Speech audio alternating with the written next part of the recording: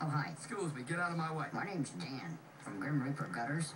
I won't leave until I make a sale. Yeah, well, my, uh, my gutters are fine there, thanks. So, uh, get lost, Chief. Really? Are you sure? Yeah, I'm looking at them right now, and they're, they're there. So, uh, get lost. Have you seen our clog-free system? It safely routes roof runoff, leaves, and debris away from the home while tastefully accenting your roof line and Oh, soffits. man, I, I told you no.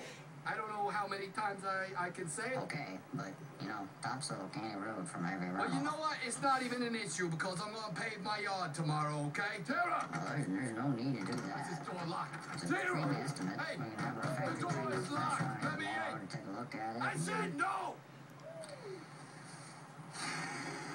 Okay. Killed Carl. Yeah, but did he leave? No, haven't you seen the commercial? They won't leave until they make a sale. My name's Dan from Grim Reaper Gutters. I won't leave until I make a sale. Have you seen our clog-free system? It safely routes roof runoff, leaves and debris away from the home while tastefully accenting the roof line and soffit. Frank, where are you going? I guess I'm going to buy some uh, damn gutters. What do you